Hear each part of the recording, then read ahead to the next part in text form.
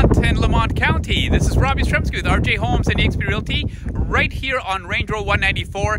I am standing in front of our new listing. This is 75 acres of prime agricultural land. Um, it is a rural acreage property, and this is Range Road 194. It is only about a kilometer of gravel road, and then right behind me there, that is Lamont, the town of Lamont, right there. Very, very close. We are just off of Highway 15, and you just turn south on uh, Range Road 194, uh, right about uh, Township Road 551. And as you can tell, this is a beautiful piece of property here. Um, Behind me is another couple of acreages, um, acreages right across the street as well.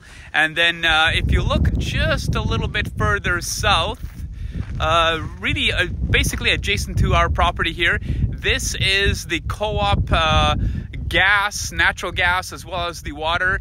Um, it's really right next door. So um, the office is right there.